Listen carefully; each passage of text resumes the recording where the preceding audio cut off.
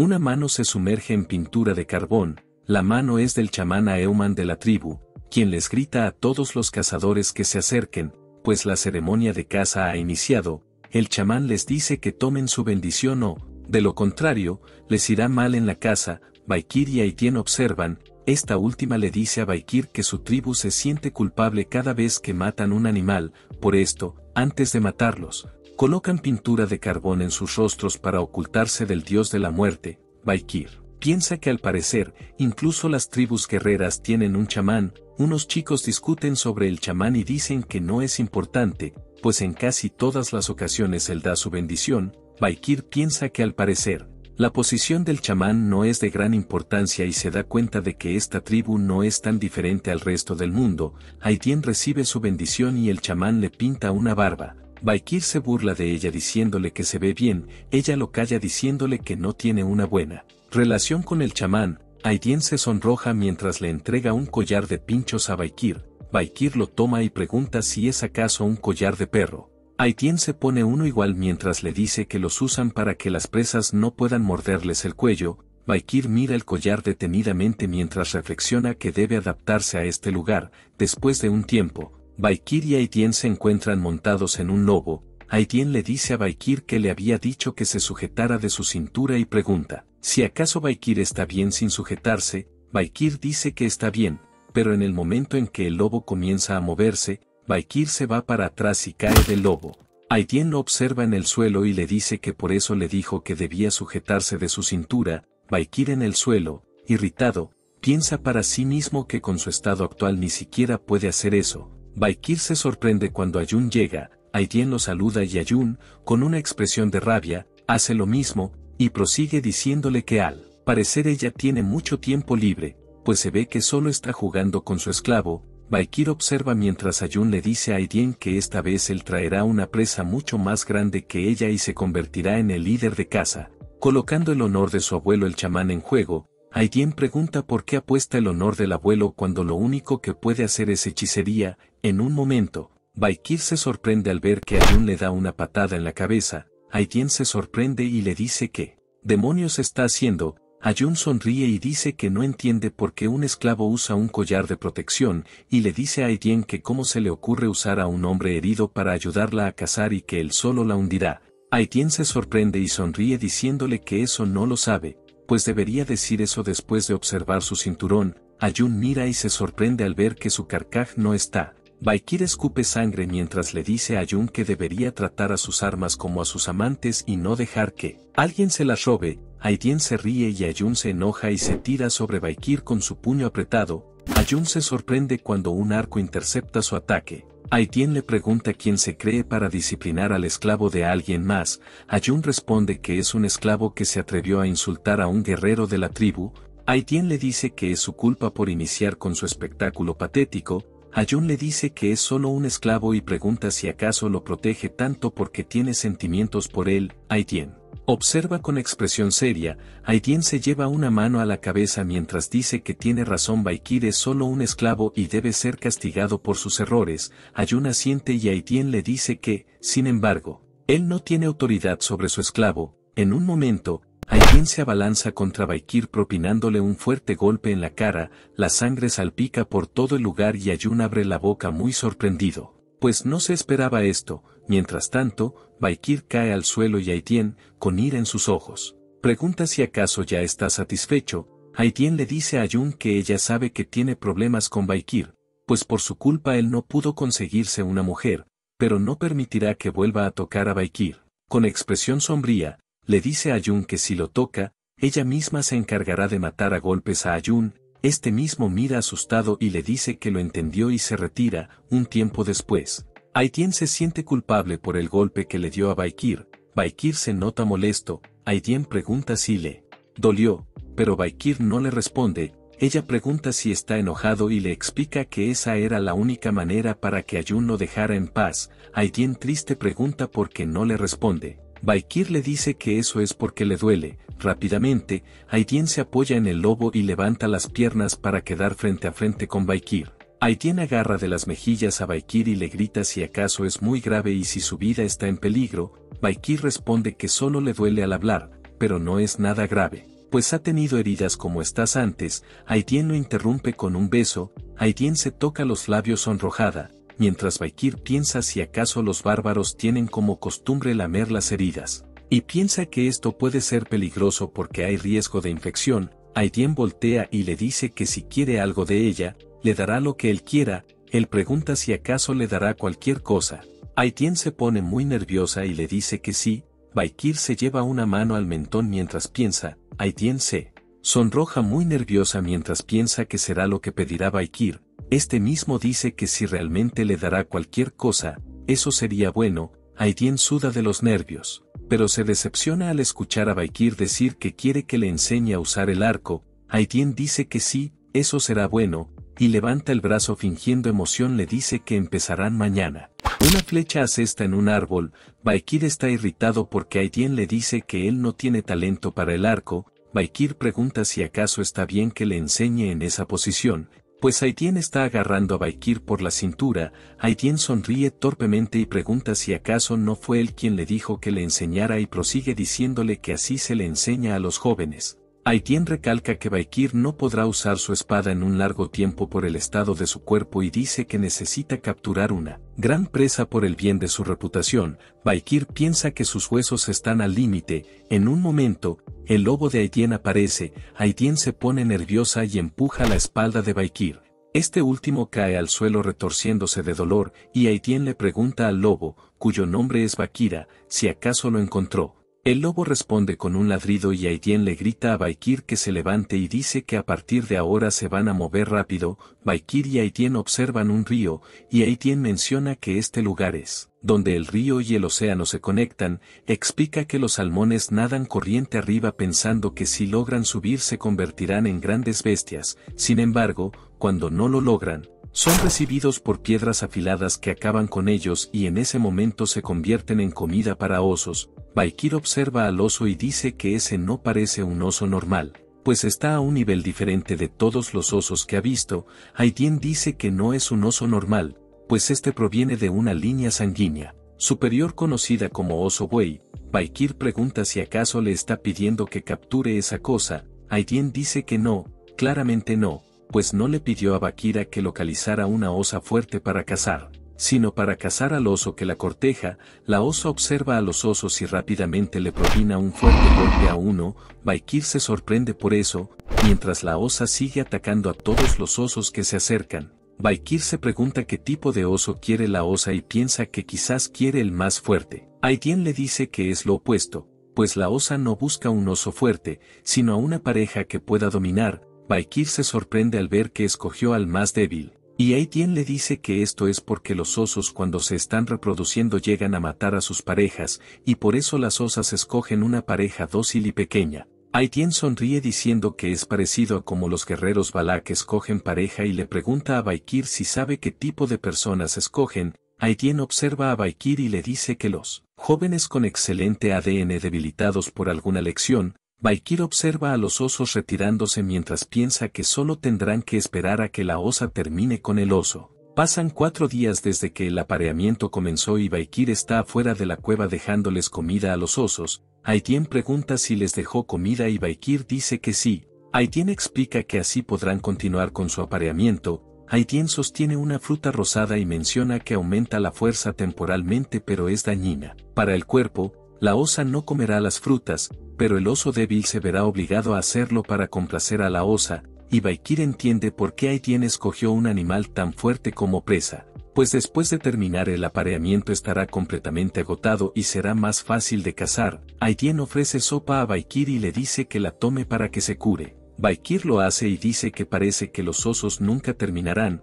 Baikir escupe la sopa cuando escucha a Aitien decir que los hombres en la tribu son iguales, pero al parecer, en el imperio no es lo mismo, Aitien se ríe y dice que eso es normal, pues en el imperio solo hay tontos, Aitien se acerca a Baikir preguntando si puede hacerlo de esa manera, pero es interrumpida por un rugido, Aitien toma el arco y le grita a Baikir que se aliste, pues parece que la osa por fin terminó con el oso, Aitien y Baikir observan que el oso corre despavorido de la cueva, Baikir se sorprende por esto y Aidien dice que eso es porque ahora lo ve como una amenaza a su territorio. Baikir mira al oso cansado y dice que ahora querrá dormir. Aitien sostiene una flecha mientras dice que cuando el oso decida dormir, la cacería comenzará, después de un tiempo. Nos encontramos en una montaña helada, Baikir dice que el oso debería estar cansado. Sin embargo, ha caminado mucho y no se cansa. Aitien responde que el oso está buscando un lugar seguro. Y el frío es un lugar adecuado alejado de los peligros del bosque,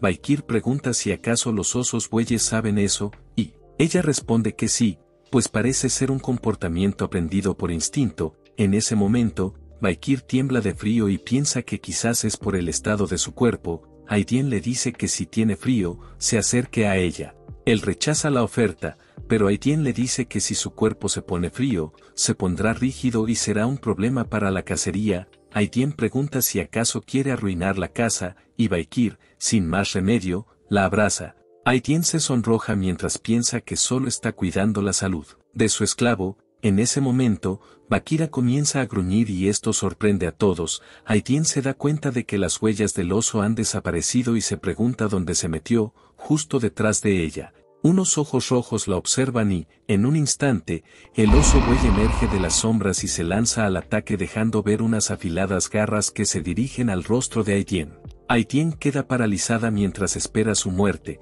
pero Baikir la agarra y se impulsa hacia atrás, Aitien se salva por los pelos de perder la cabeza, Baikir y Aitien caen al suelo, el lobo Bakira ruge y se lanza al ataque. En el suelo, Baikir sigue agarrando a Aitien y le pregunta si acaso está bien, ella responde que gracias a él lo está, mientras tanto, Bakira pelea con el oso, logrando morderle una pata, Aitien y Baikir se levantan, este último dice que será complicado pelear de frente, mientras, Aitien piensa que está perdiendo su dignidad como maestra, pues el esclavo la salvó, intentando recuperar la dignidad, Aitien dice, esclavo, quédate detrás de mí, esto sorprende a Baikir. Y Aitien sostiene con fuerza su arco y flecha mientras le dice a Baikir que le enseñará su dignidad como maestra, Baikir piensa que él, como esclavo, no está haciendo nada mientras su maestra hace todo. Aitien se impulsa entre las paredes de hielo con Bakira, en el aire, Aitien dispara una ráfaga de flechas. Contra el oso, estas impactan en su lomo pero no parecen tener efecto, mientras tanto, Aitien grita que lo pagará por hacerla quedar mal con su esclavo, en un momento, el oso se esconde detrás de una roca de hielo. Aitien apunta y se pone seria, diciendo que esconderse no evitará el siguiente ataque, en un instante, el cuerpo y el arco de Aitien se llenan de aura, al soltar la cuerda, la flecha avanza a toda velocidad y al chocar con la piedra rebota, sin embargo, genera una vibración, esta misma, hace posible que el aura atraviese la roca, dando de lleno en el estómago del oso, este último grita mientras escupe sangre, Baikir observa asombrado al comprender que la ola de aura atravesó la roca. Observando a Aitien preparar otra flecha, Baikir piensa que la habilidad de Aitien puede ser considerada un arte, Aitien sonríe mientras Baikir piensa que Aitien podrá sobrepasar a Camus. El oso sigue escupiendo sangre por el ataque, pero rápidamente sale detrás de la roca y avanza rápidamente contra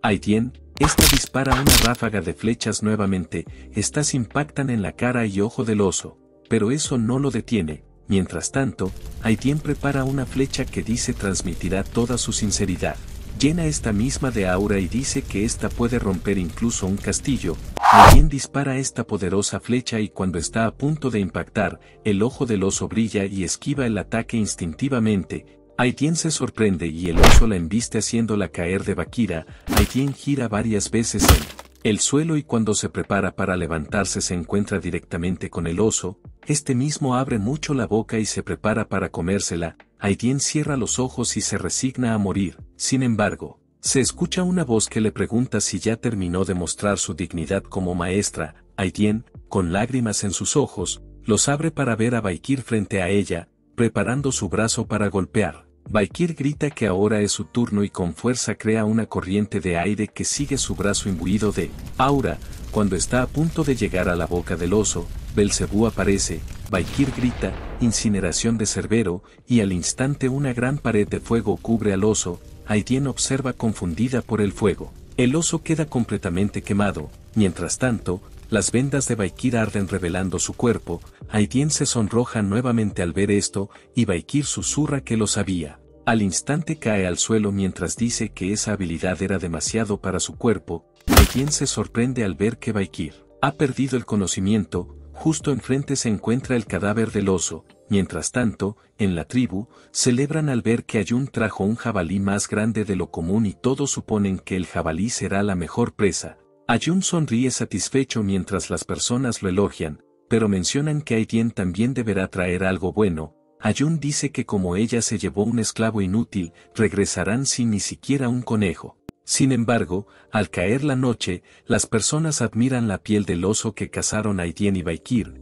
la gente celebra y baila alrededor de la hoguera, mientras se reparte a la tribu un estofado. Aitien dice que el cazador que atrapó la presa más grande recibe el respeto y admiración de toda la tribu y señala a Baikir mientras le pregunta que se siente ser el héroe de la casa, Baikir dice que no le importa mucho. Aitien observa la piel del oso mientras dice que esa respuesta es un problema, pues los osos buey son fuertes e inteligentes y lograr cazar uno es un acto muy honorable, dice que por eso fueron escogidos como héroes de caza y no a Yun, quien atrapó a un jabalí temeroso que huye, y le pregunta a Ayun si no es así, este mismo observa irritado y le da un tazón de estofado a Baikir, este último pregunta qué es esto, y Ayun le grita preguntando si acaso tiene algún problema. Baikir dice que casi no tiene carne, y Ayun le dice que eso es debido a su honor, Aidien le dice que es una tradición que la persona que más contribuyó a la tribu tome el pedazo más pequeño de carne y se lleve en su lugar el honor,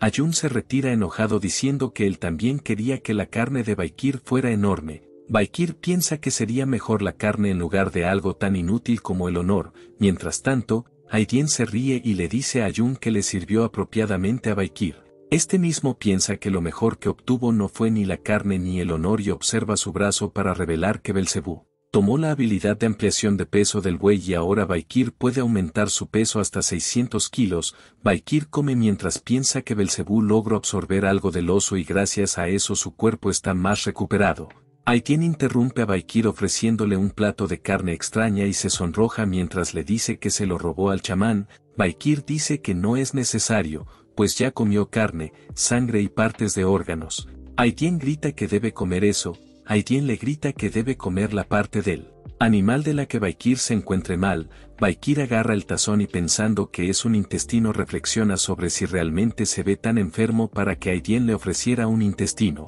Mientras unas bárbaras gritan que conocen las verdaderas intenciones de Aitien al darle eso al esclavo, ella se sonroja y les grita que se callen, Baikir lo mastica pensando que es muy duro y Aitien se pone feliz al ver que Baikir se lo comió, su sonrisa se extiende aún más, y le dice a Baikir que ahora será capaz de hacer su trabajo, Baikir come mientras piensa que ya hizo su trabajo en la cacería y se pregunta qué más quiere Aitien de él, al amanecer, Baikir se levanta y se encuentra frente a un árbol cortado, Observa que el árbol tiene ácido venenoso y piensa que al parecer lo que Aidien dijo ayer era verdad. Recuerda que ayer le preguntó a Aidien por qué dejaban toda la carne de mejor calidad en ese lugar, pues ella dijo que la tribu tenía problemas de comida. Aidien le dice que es una ofrenda para la Madame de ocho extremidades y dice que solo así tienen permiso para vivir en el bosque. Baikir recuerda su batalla con dicho monstruo y comprende que su actitud al intentar pelear con ella estuvo mal Baikir recorre la aldea y se sorprende al ver que la casa de la matriarca está llena por una fila de mujeres, y se pregunta si hay algún tipo de ritual, las bárbaras en la fila dicen que no han dormido haciendo esta fila, y las mujeres discuten sobre que Baikir será liberado de su condición como esclavo y cuando lo haga escogerá a una mujer de la tribu como su esposa, también piensan que Baikir es muy fuerte, las mujeres son interrumpidas cuando llega Etienne cargando un venado diciéndoles que ellas vieron lo que le dio de comer a Baikir ayer y pregunta cómo se atreven a robarse lo que es de ella. Ellas le dicen que les deje a Baikir después de que lo haya usado y dice que es injusto que Aidien lo tenga para ella sola. Aidien irritada dice que si piensan que es injusto salgan a cazar ellas. Mismas a un esposo, las mujeres dicen que nadie como él existe y no podrían encontrarlo ni aunque entraran al imperio, Aitien se enoja y las amenaza diciendo que quizás en el infierno alguien como Baikir exista. Las mujeres corren aterradas. Aitien se lleva una mano a la cabeza mientras dice que algunas serpientes intentan robarle a Baikir y revela que lo que le dio de comer ayer a Baikir fueron los órganos reproductores del oso buey y ahora espera que haga su trabajo como hombre, Aidien voltea. Mientras ve a Baikir con cara de asco, este mismo se da cuenta de que lo que comió ayer no era un intestino. Aidien nerviosa le dice a Baikir que escuchó que la matriarca llamó a los ancianos a una reunión y dice que Baikir podrá solicitar una sola cosa a la matriarca y se sonroja mientras dice que ella ya pensó en algo que Baikir puede solicitar cuando sea llamado por su madre, Aitien le menciona algo, pero la reunión da comienzo, todo el mundo observa a Baikir, quien está haciendo una reverencia frente a la matriarca, esta última menciona que Baikir logró cazar a un oso buey y hacer que la tribu disfrute de su carne, Baikir dice que solo hizo lo que se le pidió. La matriarca lo felicita y dice que no esperaba la rápida recuperación de Baikir, la matriarca dice que Baikir salvó a Aidien y Baikir piensa que la presencia de la matriarca es similar a la de Hugo pero más calmada. La matriarca lo saca de sus pensamientos y le dice que su posición de esclavo queda revocada y ahora forma parte de la familia. El chamán se muestra insatisfecho y Baikir recuerda que Aidien le dijo que los ancianos no querían que Baikir fuera liberado. Baikir mira al chamán mientras se pregunta si este es el abuelo de Ayun, la matriarca se levanta y le dice a Baikir que ya que es parte de su familia por favor le pida lo que quiera y le dice que le dará una esposa que ella misma escoja o una esclava. Aitien se señala a ella misma de mil formas diferentes mientras piensa si Baikir olvidó lo que ella le dijo, Baikir la observa y cierra los ojos mientras dice que quiere solicitar algo. La matriarca le dice que diga lo que quiere con confianza mientras piensa que su hija se está esforzando haciendo señas y parece que realmente quiere a Baikir, Baikir le dice a la matriarca que, si se lo permite, desea que su cuerpo sea sumergido en el manantial del héroe. Al escuchar esto, todos se sorprenden, Aitien sonríe al ver que Baikir sí recordó lo que ella le dijo y la matriarca pregunta si sabe lo que está pidiendo. Al instante, el chamán grita cuestionando a Baikir sobre quién se cree para pedir esto, pues solo los guerreros que han demostrado grandes logros pueden bañarse en el manantial del héroe. Ayun concuerda con su abuelo y le dice a Baikir que conozca su lugar. Aiden, enojada, interrumpe a Ayun y dice que Baikir ya probó su fuerza trayendo al oso buey. La matriarca lo mira seriamente y pregunta nuevamente si sabe que es el manantial del héroe. Baikir responde que lo entiende perfectamente y procede a explicar que este manantial es el lugar sagrado de la tribu, donde se encuentran enterrados los cadáveres de los más grandes héroes de la tribu, el manantial tiene el poder de curar cualquier herida externa e interna y prosigue diciendo que, sin embargo, el agua demora mucho en acumularse y por esto solo se permite la entrada a los más grandes guerreros. La matriarca piensa y un anciano dice que no pueden permitir que alguien que recién es liberado de su condición de esclavo vaya al manantial. Otro anciano dice que, sin embargo, es un joven con un futuro prometedor y no estaría mal dejarlo entrar para motivarlo. El chamán enojado pregunta que cuando el manantial se convirtió en un estanque en el que cualquiera puede entrar, la matriarca piensa que quiere dejar entrar a Baikir pero le falta justificación y aparte de eso no puede aceptar esto, pues el chamán y sus aliados se están oponiendo severamente. En ese momento un sonido interrumpe la reunión y Baikir pregunta si ese sonido es de alguna guerra, Aidien se levanta mientras dice que tienen invitados y nadie se atrevería a atacarlos a ellos, la matriarca dice que discutirán el asunto del manantial después y ordena que todos se retiren. El chamán observa algo irritado, al salir de la tienda, Baikir observa a todos los habitantes de la tribu reunidos. Baikir pregunta quiénes son los invitados y Aitien responde que son mercaderes que traen productos que no se encuentran en el bosque e incluso algunas personas de la tribu. Esperan ansiosas a que los mercaderes lleguen, Baikir observa seriamente el emblema de los mercaderes y se da cuenta de que es uno de los siete grandes clanes, el clan Borges, y se da cuenta de que para que este clan llegara hasta aquí tendría que pasar por los territorios de Baskerville o Morg y como ninguno aceptaría tal cosa, Baikir llega a la conclusión de que están contrabandeando. El mercader del bigote saluda y dice que el mercado de cinco días ya ha llegado y dice que traigan los bienes que quieran comercializar. La gente de la tribu le da la bienvenida y rápidamente comienza el comercio, ofreciendo perlas para dormir, productos cosméticos y comida. Baikir observa que los comerciantes traen artículos normales y se sorprende al ver que los intercambian por artículos raros y muy caros que se consiguen en el bosque. Baikir se da cuenta de que los mercaderes están estafando a la tribu pero decide no meterse porque alguien podría reconocerlo, decide dejar el problema en manos de la tribu y justo en ese momento Aitien sostiene una mazorca diciendo que este intercambio no es justo y pregunta cómo tiene sentido cambiar un diamante por una sola mazorca. Baikir piensa que afortunadamente Aitien se dio cuenta, en ese momento, Aitien grita enojada que al menos le dé dos mazorcas, al conseguirlas, mira a Baikir con un gesto de felicidad, Baikir, con cara de molestia, retira lo que había dicho antes, los bárbaros empiezan a decir que los intercambios no son justos, por un momento, el mercader del bigote se preocupa pero los bárbaros se calman cuando les da un poco más de productos y sonríe cínicamente mientras piensa que los bárbaros son unos estúpidos que no conocen el valor de lo que están intercambiando, una niña bárbara lo saca de sus pensamientos cuando le dice que le intercambie una perla de vidrio, la niña sonríe cuando el mercader pregunta qué tiene para intercambiar. La niña enseña una larva y dice que sabe bien y es bueno para la salud, el mercader la mira con asco, le dice que cómo puede comer eso, y rápidamente le da una palmada en las manos a la niña, esto hace caer la larva al suelo. La niña triste cae al suelo mientras el mercader dice en idioma del imperio que es una estúpida pero se ve muy linda y como esclava tendría un gran valor,